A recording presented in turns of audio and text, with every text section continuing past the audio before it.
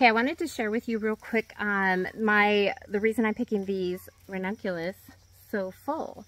In my wholesale world, I didn't mind if they did open up because in the evenings or whatever they close back up.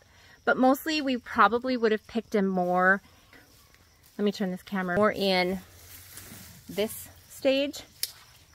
Um, and now we're, we're okay to pick them more bloomed out. My market is changing. We're doing the farmer florist we're doing the farm stand. And I do know um, from years of doing the farmer's market, even more bloomed out is fine. Ranunculus is totally fine to do that. Um, let it fully bloom. It's not past its prime at all. Now, if you let it fully bloom and let it sit out for a while in the fields, then it would be. But I like for them to fully bloom for a day. And uh, not they don't even have to fully bloom, like three quarters bloom. And we're going to pick them. And I'll take them fully bloomed too.